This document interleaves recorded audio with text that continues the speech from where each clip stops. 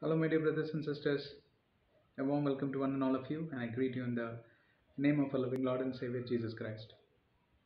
It's always a pleasure to meet with you, and uh, especially I want to thank God to uh, who enable these wonderful sessions, and uh, I'm very very grateful to Him because today so many people are going through so many crises, and you and I have that time and opportunity to meditate from the Word of God, and therefore I'm really, really happy. I'm rejoicing in my spirit. A warm welcome to this short session where we are going to today deal from a very, very important subject and a very tough subject to explain. So that's why we are handpicking such subjects, and we always try to um, narrate and uh, interpret and uh, help all of us to understand why such topics are very, very important, right?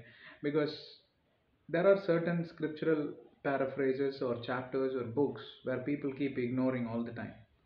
Uh, one such good example is, for example, the book of Leviticus. It's full of laws, full of uh, you know about um, the practices and uh, the guidelines, and people ignore.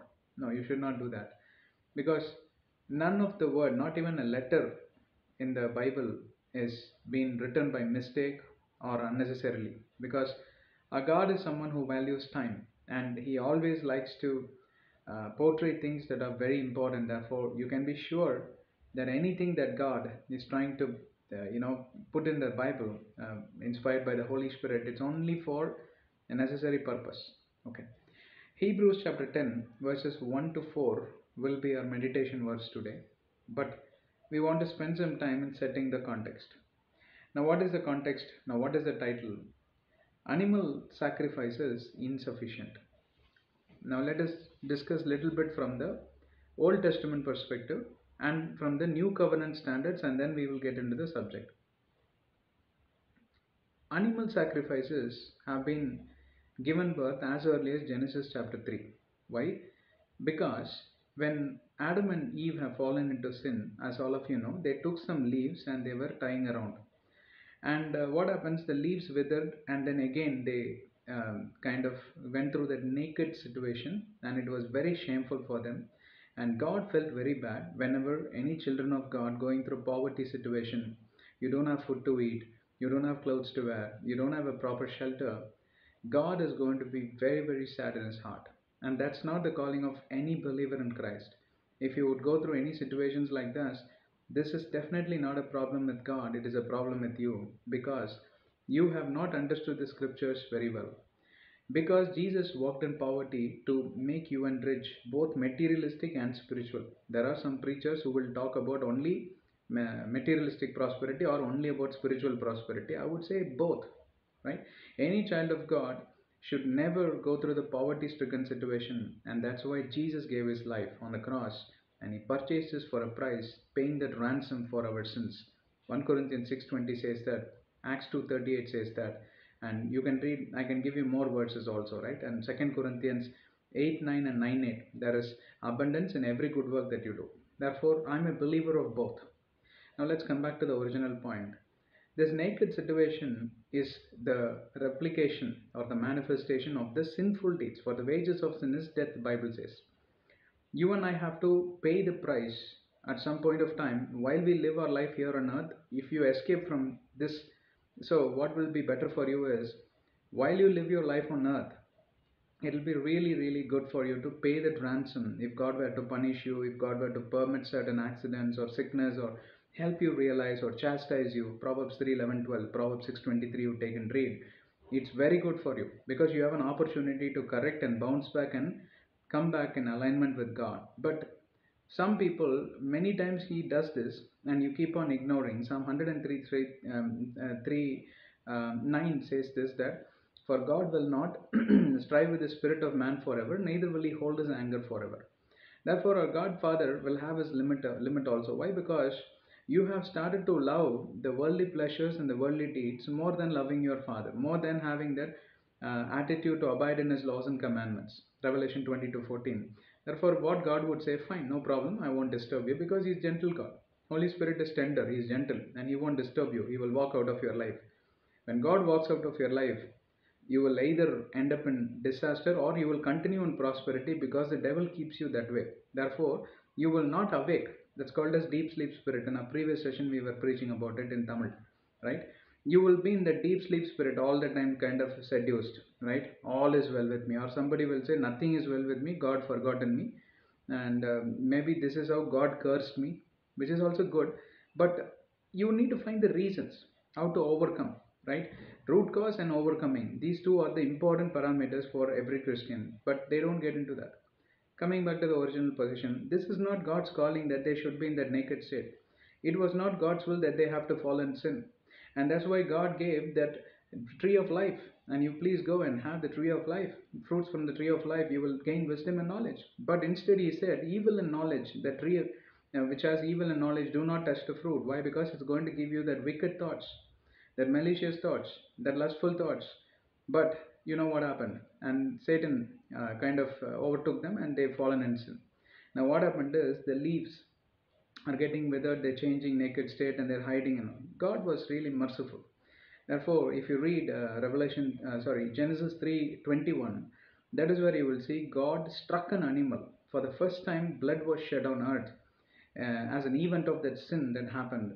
And the blood, with the animal sacrifice happened. The animal sacrificed its life and gave its skin and god took that skin and kind of made them a tunic and then uh, you know covered them for the first time god gave them the permanent uh, clothing which will keep them away from nakedness. Now what does this mean is permanent clothing means the blood of christ. That's the permanent clothing. The anointing of the holy ghost permanent clothing. The grace and mercy that we get in the name of jesus permanent clothing. That will keep us away from all sorts of sins all sorts of sinful desires all sort of curses all sort of bondage, bondages and every single thing that is against the laws and commandments against the will of god it will keep us away from those aspects. If you stay away from those aspects you are going to stay away from the naked situation. You will never get into nakedness. You will never get be poverty stricken you will never live a life that is in downtrodden that keeps you deprived dejected rejected lonely. You will never get into that. And that's the reason we always need to meditate in the uh, word of god day and night. And god is pleased with such people bible says in psalm chapter 1 you take and read right? Now my point is not that. Now coming back to this.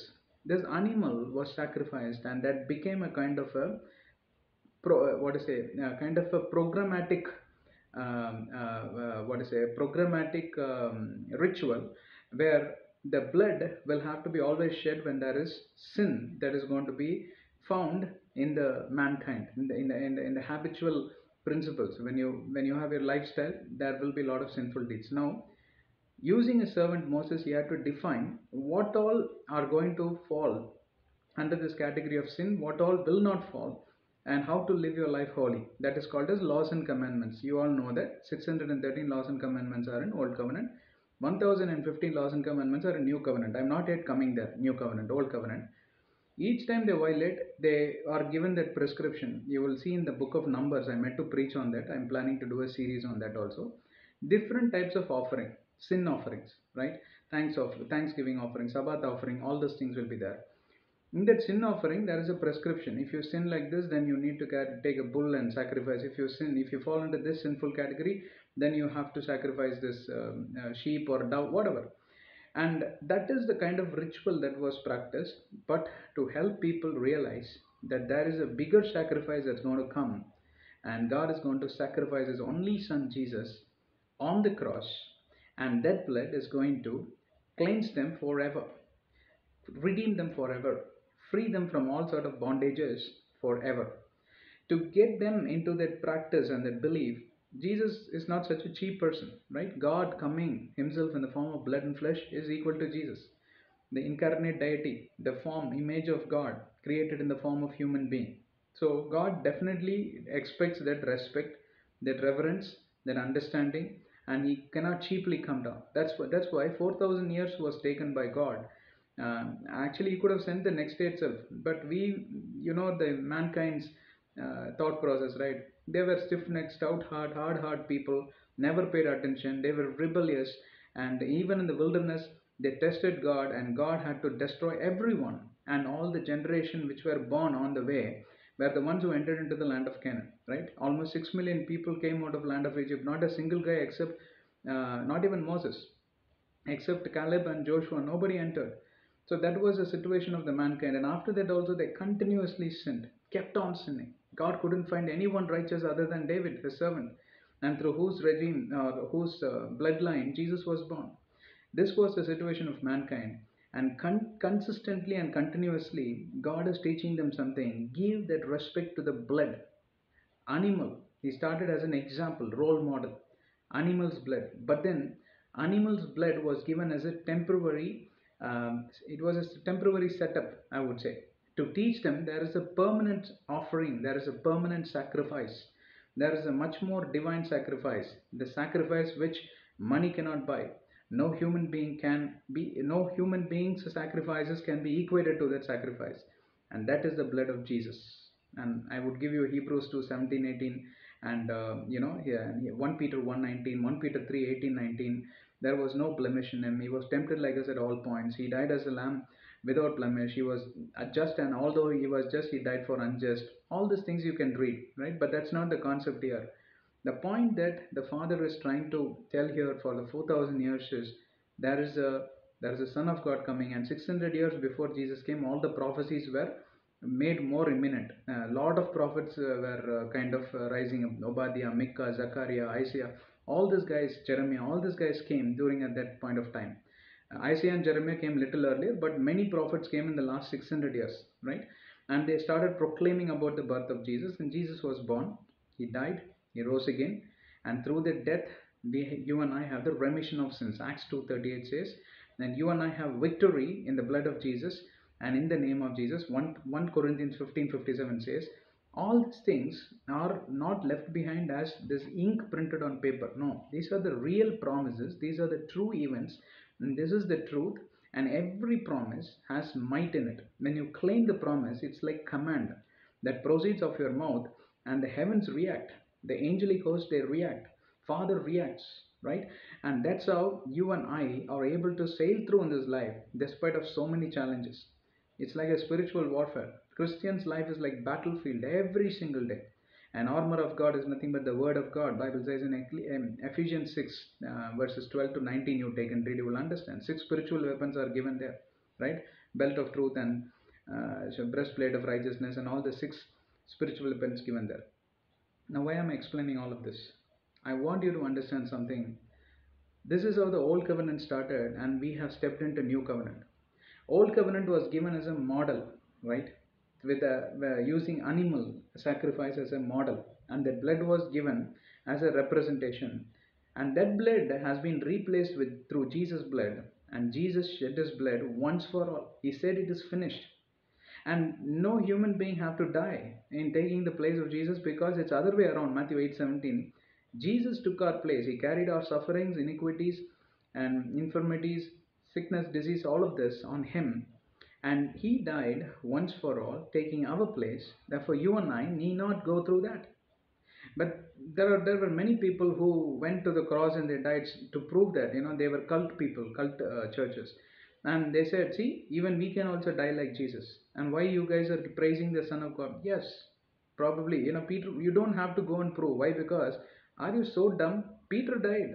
Peter said crucify me upside down which means he went uh, past that record where you're trying to die as jesus. But he died more than jesus. But still peter is making that point clear. I do not deserve even to die like jesus. Why? Because the son of god's blood is without blemish that is the blood of purity. That, that is the blood which manifests divinity. That is the blood which alone has the rights and authority to cleanse and forgive anybody's sins. No human being can replace. No animal being can. No no animal can replace. Right. Even you can manufacture the um, dinosaur with the help of a DNA and sacrifice the biggest animal in the biggest size. But it means nothing because why? The purity in the blood, right, is very very important. Now, I hope you understood this. One more aspect I want to tell you. This is one aspect. Another aspect is many people say, use the word sacrifice. Be very careful. You will be judged for that. I sacrificed my life for God and His people, brother. I sacrificed all my comfort. I sacrificed all my luxury. And that's the reason, you know, I came to this ministry, this and that. Nobody's sacrifice is greater than Jesus' sacrifice. The Son of God made choice to be born in the line of sinful people, you know, all the way from Rahab the harlot. And uh, you can see, um, I think it's in the bloodline of Ruth, Boaz and Ruth. Ruth is a Moabite, right? That bloodline, if you see, the genealogy is well described in Matthew chapter 1. Excellent description. You will see all the sinners' bloodline he chose.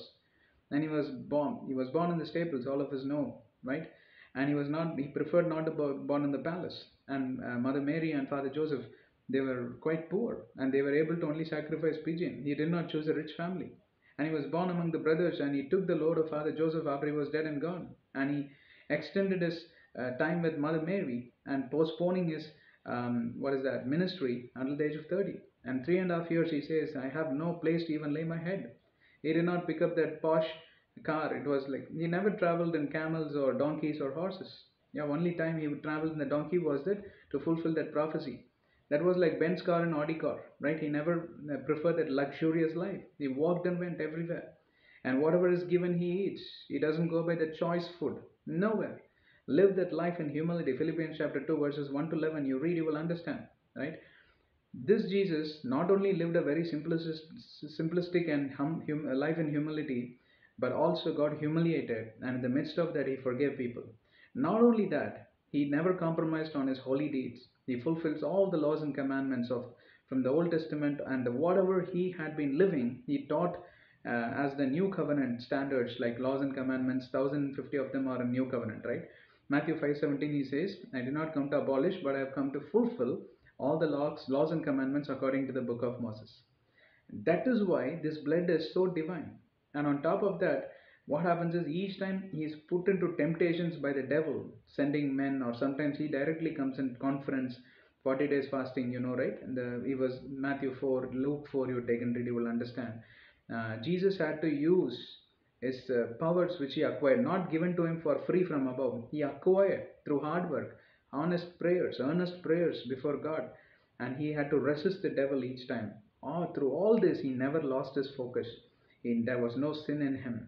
You know, all always there was an opportunity for him to sin, fall in lust, and be angry, and kind of you know, you know, slap people and all that. You know how they irritated Jesus? Not once. That is why this blood is blood of divinity. You want to know more about this? Truth about the cross. There is a series we have done, 20 hours of teaching. You will go through it. If you go through it, you will understand clearly. Now, uh, my time is almost up. Let us read these four verses and we will close. You all understand what we are saying here? Animal sacrifices is insufficient, which also means your sacrifice is also insufficient. It will nowhere able to reach near the standards of Jesus' sacrifice. Let's read this. Verse number 1, Hebrews 10, verse 1. For the law, having a shadow of the good things to come, and not the very image of the things, can never, with these same sacrifices which they offer continually year by year, make those who approach perfect. You all understood, right? Year after year, day after day. Um, you people, many people think fasting and praying itself is a sacrifice. I have sacrificed my one meal, brother. There are very immature people. You that's why I gave you a big list of sacrifices which Jesus went through. Yeah, does it account even to point one percentage of what Jesus went through? No way. The last 12 hours, he was tortured and bruised, that, uh, in, that alone is enough for the Son of God being bruised, brutally harassed and uh, he had to kind of hang naked on the cross. That's enough.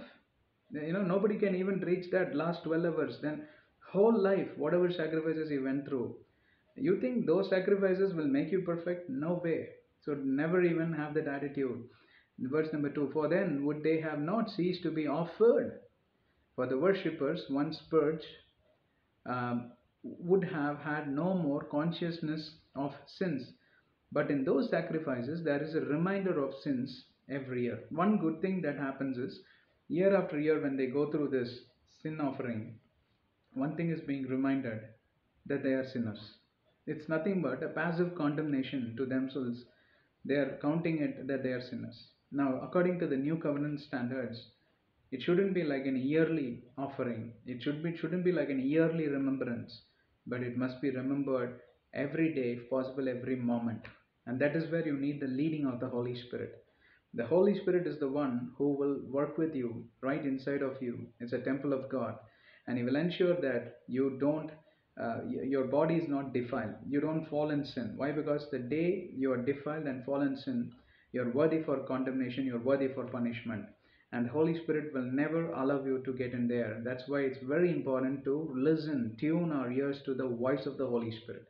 You want to know more about it? Walking in the spirit galatians 5 you take and read from 17 to not 17 actually 14 to 21 and uh, 1 Peter, uh, 1 not 1 Peter, um, I think 1 Corinthians 12, 1 to 11, 1 Corinthians 12, 28, the gifts of the Holy Spirit. All these things, if you read and you want to know more of the acts of the Holy Spirit, Acts chapter 2 and 3 is good enough. You read all this, you will understand what all happens when Holy Spirit becomes your partner, your companion, right? That's very important because nothing else can get you to the close state of perfection. And it's important for you to be reminded of what you're going through every moment and the holy spirit alone can help you. And therefore instantaneously you can come out of these kind of you know situations that leads you to blemish sin lust and sexual immorality whatever it may be. You will be able to come out of it right? Bounce back and come out of it imme- immediately. And for example the thorn, thorn sorry pricks inside your flesh and uh, pricks inside the flesh of a leper. The difference between your flesh and the leper's flesh, leper will have no sensation. He continues to walk, and after a period of time, what happens is the blood oozes, oozes, it gets infected. He wouldn't even know that there is a thorn gone right inside his flesh or uh, you know the sole of his feet. He will be dead in matter of 48 hours or 72 hours. But when it enters your flesh, your conscience, you are not a leper. You will immediately pull out that, and you will go to the doctor, get the TT injection done, and bandage it and something like that. And you want to be on the healing side because you don't want to die. That's exactly the comparison what paul is trying to do here. Work with the holy spirit and immediately pull out that thorn pull out that lust pull out that immorality pull out everything that is against the divine will of god. Pull out everything that will make uh, grieve the spirit grieve the holy spirit ephesians 4.30 pull it off.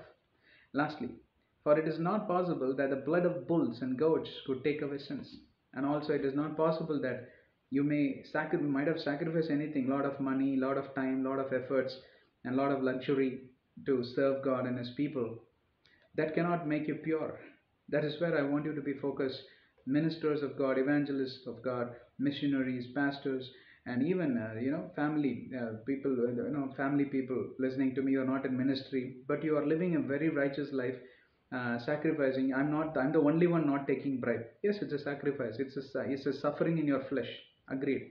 But all these things can never make you someone um, equivalent or something equivalent to the blood of jesus. The glory should be given to the name of jesus and to his holy spirit through whom you and i are able to live holy. So never take that self uh, prejudice or never take that credit on yourself because of me and my efforts or my sacrifice animal sacrifice and our sacrifice. We are like this. Okay? All right i hope today's session was a useful one. Please subscribe to our channel. Get access to all our playlist share it with everyone of uh, everyone everyone whom you know.